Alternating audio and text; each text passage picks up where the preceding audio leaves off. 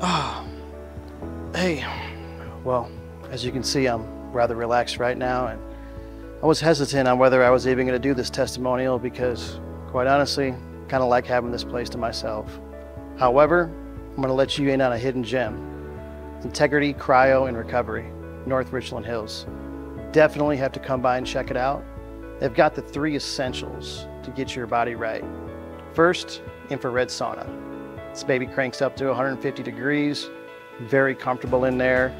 Got everything you need to get a good sweat, get the infrared sauna therapy to uh, do what it's supposed to do. Transfer over to the cryotherapy. Three minutes, really does a good job. And then you come in and you get some compression therapy when it's all said and done.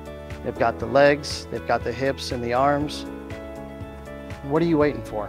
Don't even think twice about it. Great pricing, it's family owned and operated. Great people, very knowledgeable. Highly recommend coming by and checking it out. You'll thank me later.